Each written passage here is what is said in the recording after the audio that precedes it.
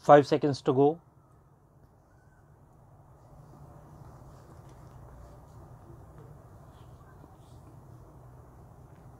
Start. So far as the finding on the point of recording of the dying declaration of the deceased is concerned, it is evident that no certificate was issued by the doctor before recording of the dying declaration regarding the physical and mental condition of the deceased. It is also apparent that the dying declaration is not in the question answer form. Legal position for recording the dying declaration is that every endeavor should be made to record the dying declaration in questionnaire format.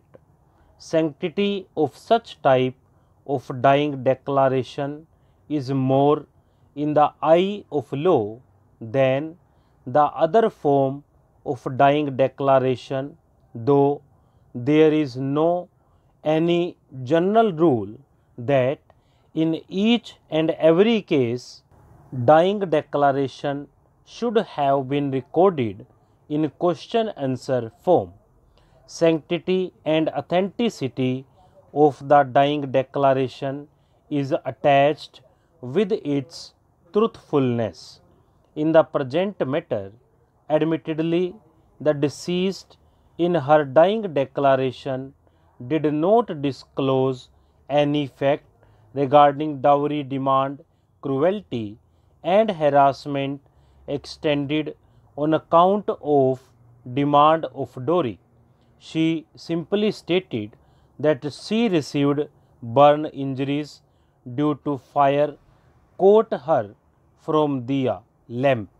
If the first line of the dying declaration is minutely analyzed in context with the other facts and circumstances of the case and also with the sale deed said to have been executed in favor of the daughters of the deceased, dying declaration becomes suspicious document. The last line of the dying declaration clearly indicates that the deceased was under pressure. Prosecution witnesses have stated that no such dying declaration was ever recorded. The trial court has placed reliance on their statements and disbelieved the dying declaration.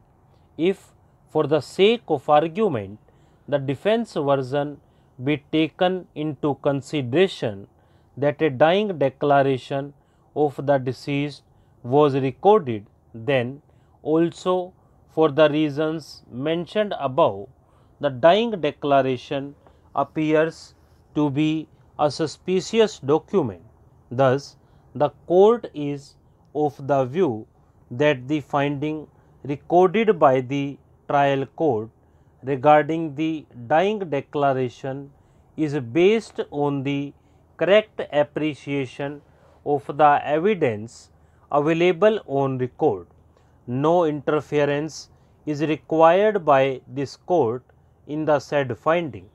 As far as the letters said to have been written by the deceased and referred to by the appellants to establish the conduct of the deceased are concerned, admittedly two children were born out from the wedlock of the deceased and her husband. Both are alive. In this backdrop, it cannot be said that the deceased was annoyed with her husband, therefore, she committed suicide. The trial court has rightly rejected the contention of the appellants on this aspect. No interference is required in the finding of the trial court on this issue also.